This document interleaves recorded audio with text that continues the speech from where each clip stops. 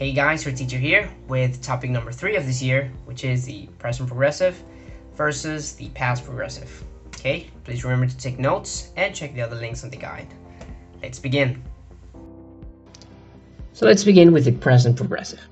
So the present progressive, we use it to uh, talk about ongoing actions in the present. Ongoing actions in the present would be those uh, that we're doing right now, currently in the moment. So for example, I'm finishing my homework. Okay, that is happening right now. It's an ongoing action.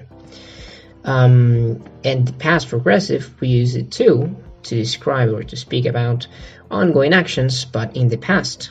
Things at a specific moment in the past that were ongoing. For example, I was doing my homework at 5 p.m.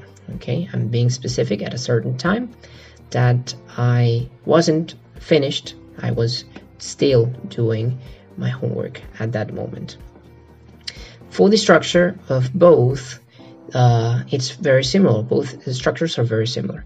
In the present progressive, we have the subject plus the verb to be in the present, um, the verb uh, with ing, with the ing ending. So we have the subject, uh, for example, I, and the verb to be am, and the verb with ing studying. So we have here I'm currently studying English at home by myself. Currently here is a time cue as we have seen before we have a time cue here and we can have we can have these time cues in between the verb to be and the verb with ing. So I am currently studying English at home by myself. The structure of the past progressive very similar to we have uh, the subject plus the verb to be, but the verb to be this time in the past. So the verb to be in the past and the verb again with ing. So we have, and as an example, we were watching TV. So we, as the subject, were as the verb to be in the past, and watching is the verb with ing. So we were watching TV when the storm began. Okay?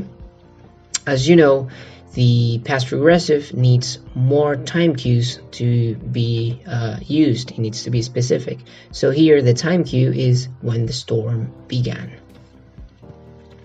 We have uh, time cues for the present progressive. For example, right now, currently, and still. Still can be used for both.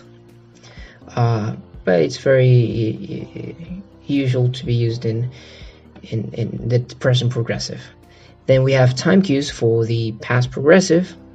We have at at certain time, for example, at 5 p.m., at 3:30 a.m., and at a specific moment in time that was in the past. Okay, something that was ongoing at a specific time. We have earlier today. So earlier today, I was planning these classes. Okay, then we have a simple past connection a time cue with a simple past, just like the example, when the storm began, okay, that is a time cue, when the storm began, that's when, okay, we were watching TV, okay.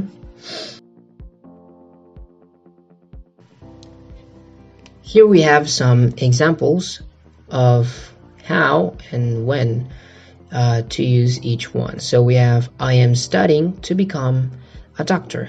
So something that is ongoing it's still ongoing. I've been doing this for some time, so I am studying to become a doctor. A question here we have Are you working on a special on any special projects at work? So here we have the, the, the question structure. Are you working on any special projects at work? We have another question. Are you coming to the party with us? So are you coming to the party with us? We have another question, but this one in the past. Were you studying when she called? Were you studying when she called? And last but not least, again with the past, this time not a question. Uh, at midnight, we were still driving through the desert. At midnight, at a specific moment, we were still driving through the desert. Good. Well, that was it, guys. Uh, please remember to check the links on the guide, check the other videos, of course, and uh, take notes of everything you see this in, in this class and in other uh, links. Take care and see you in class.